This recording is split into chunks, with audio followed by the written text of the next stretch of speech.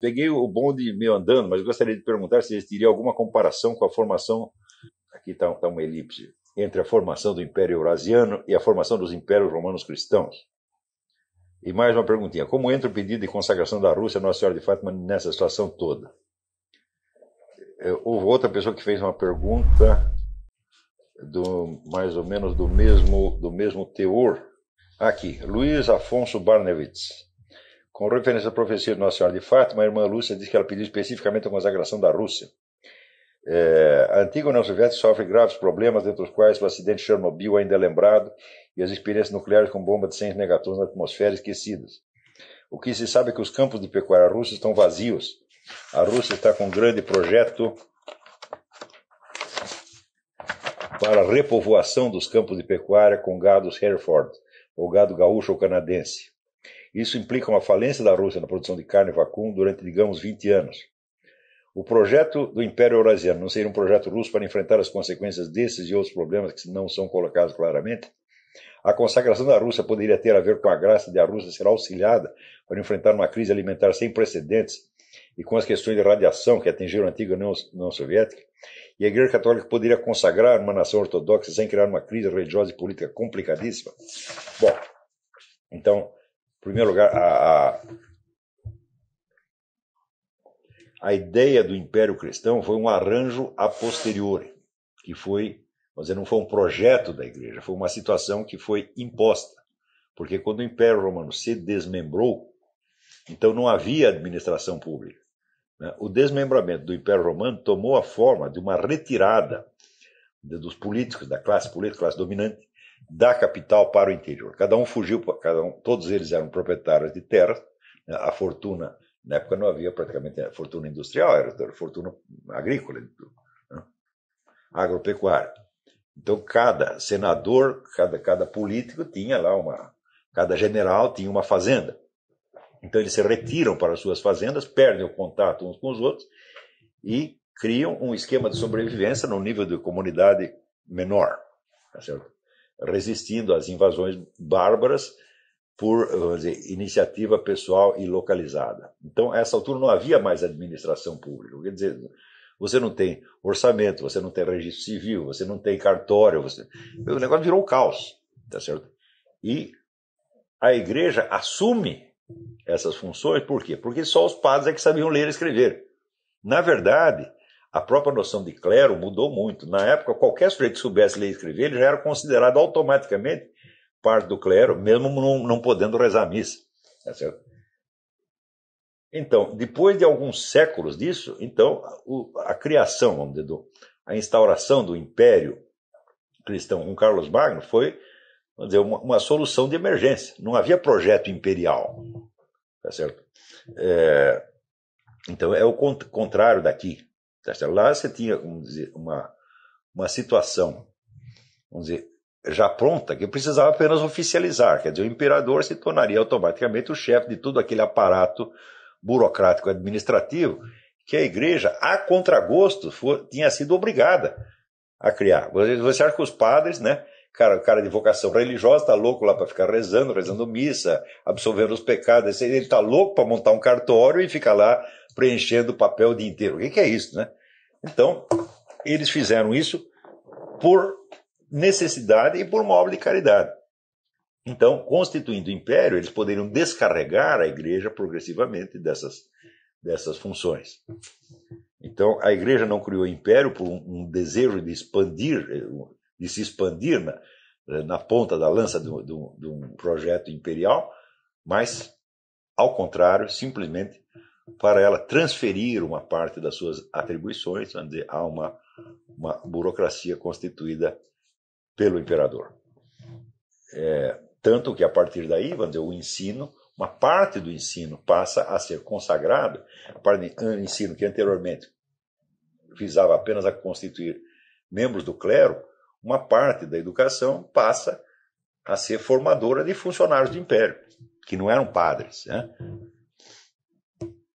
É, agora, no caso do, vamos dizer, do projeto eurasiano, ele é, realmente ele é um projeto, é uma coisa que não existe e que deve passar a existir. É, eu acabei de, de, de redigir em português a nova comunicação, o debate do professor Duguin, ficou uma coisa enorme, que agora terá que ser passada para o inglês.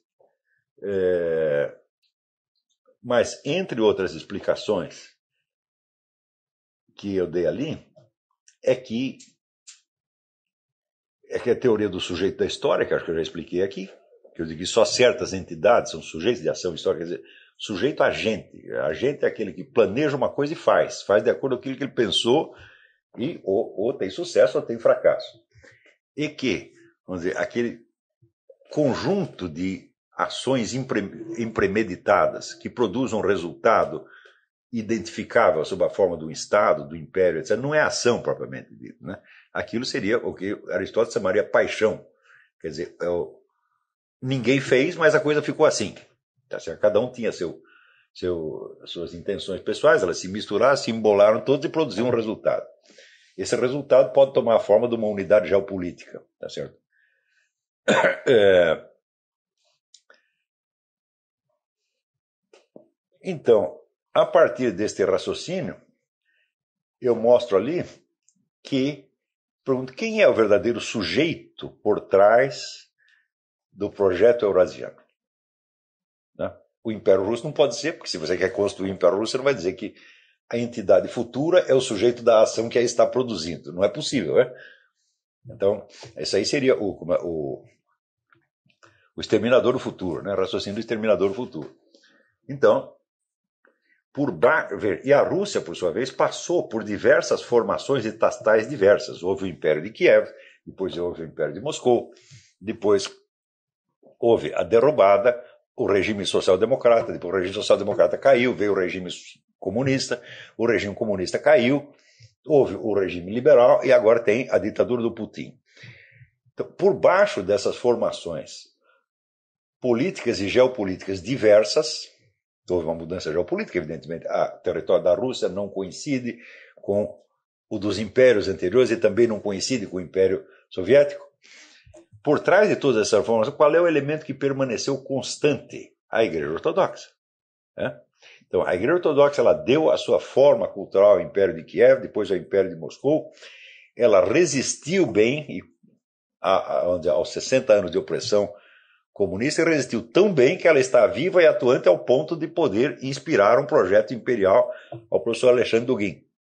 Então, daí perguntei eu, como o projeto eurasiano se origina de dentro da Igreja Ortodoxa? E a resposta não é muito difícil. É, numa entrevista que ele deu a uma revista polonesa em 1998, o professor Dugin diz que a separação de império e igreja que se realizou no Ocidente é uma heresia. Que, na verdade, só pode haver uma igreja e essa igreja se unifica na pessoa do imperador, do tsar, como a igreja anglicana, onde o chefe é o rei. Né? Acontece que uma igreja imperial né, não passa, vamos dizer, de uma igreja nacional ampliada. Quer dizer, os limites da expansão da religião imperial são as fronteiras do império. Aquilo que está para lá das fronteiras do império, a religião não pode penetrar, por quê? Porque seria uma intervenção política. Ao passo que na, na igreja ocidental, a igreja, vamos dizer, os pregadores católicos puderam expandir o cristianismo por tudo quanto é lado, sem precisar levar o império nas costas. Tanto que você vai ver, teve expansão do catolicismo na China, da China até o Paraguai sem que essas regiões tivessem que estar sob o domínio do imperador. Quer dizer, a expansão da religião é enormemente maior do que a expansão de qualquer império possível. Porém, se o chefe da religião é o imperador, é o tsar, então a expansão da religião e a expansão do império são a mesma coisa. Então, das duas, uma. Ou a igreja ortodoxa fica limitada no território governado pelo tsar, ou então, para ela se expandir, tem que expandir o império também. Então, a expansão religiosa e a expansão política são a mesma coisa. Ou seja, a religião ortodoxa só pode se expandir pelo mundo mediante a conquista de território. Então, essa é uma, é uma contradição estrutural da própria Igreja Ortodoxa. E é a ela que o, o Alexandre Duguin está respondendo. Ele, cria um, ele acha que A Igreja Católica e a Protestante são ambas heréticas, que é preciso substituir tudo pela religião ortodoxa. Então, como fazer isso? Somente ampliando o Império Russo. E onde entram os elementos eurasianos, os chineses, os muçulmanos, etc, etc. Eles querem saber? Eles entram como a camisinha, tá certo? entra numa relação sexual. Quer dizer, ele quer se utilizar das forças chinesas, islâmicas, etc., para uma, uma expansão que vai ser, última análise, do Império Russo. Tá certo? Ora, que isso se realize através de uma colaboração islâmica não é impossível. Por quê? Porque o Império Russo sempre soube se virar com as populações islâmicas internas. Ele administrou isso muito bem.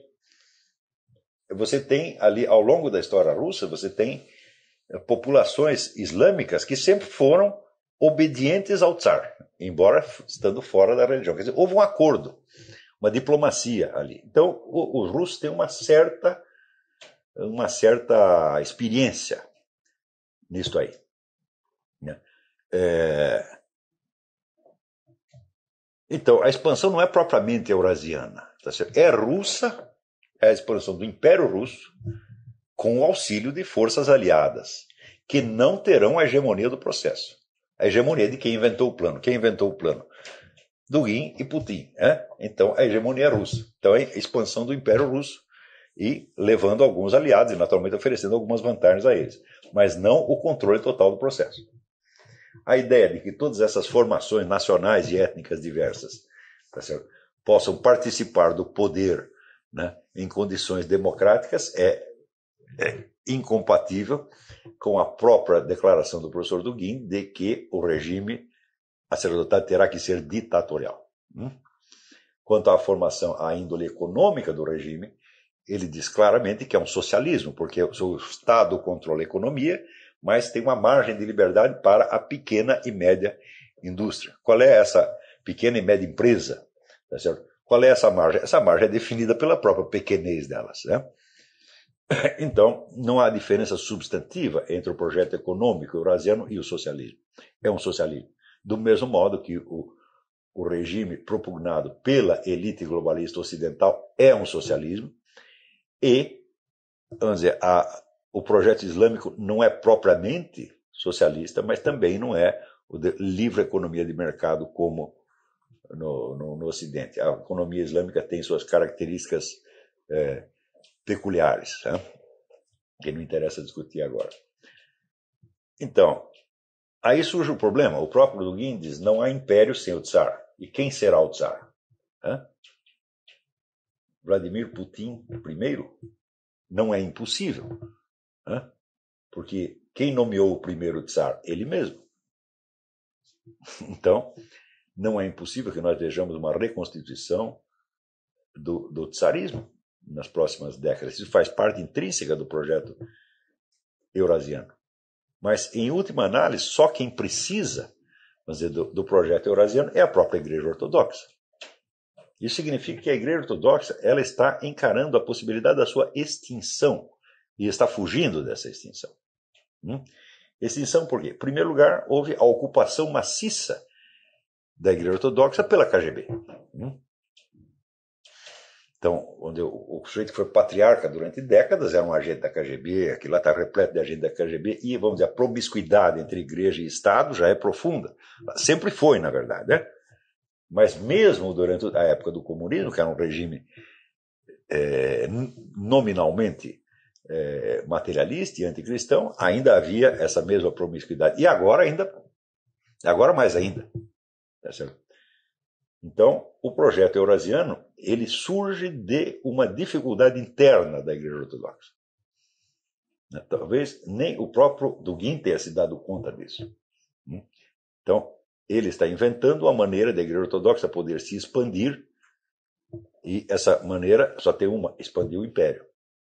Então, tem que subjugar a Europa inteira a um czar e implantar, vamos dizer, a religião ortodoxa, exceto nas áreas islâmicas, tá certo? Onde terá que ser feito um outro acordo. Então, quer dizer, entre a formação do Império Cristão e a formação hipotética do Império Eurasiano, não há nada, nada, nada, nada em comum. Né? Note bem que o Império Cristão ele não se notabilizou, vamos dizer, pelas conquistas imperiais, conquistas territoriais. A conquista territorial começa depois da Renascença, mas com as grandes navegações, mas aí já não é o império, são impérios nacionais que têm a pretensão de se substituir ao império cristão geral. Então você tem o império francês, o britânico, o espanhol, o português, então são, são impérios nacionais, por assim dizer, em concorrência. E esses sim realizam a expansão é, territorial, mas você não pode dizer que era imperial. Não era o Império Cristão que estava se, se expandindo, eram outros impérios. Hum? Que não dependiam, então, em nada dizer, da autoridade da igreja, mas que, ao contrário, como no caso do Império Galicano ou Império Britânico, são igrejas nacionais cismáticas, né? Tá então, uma coisa não tem nada a ver com a outra.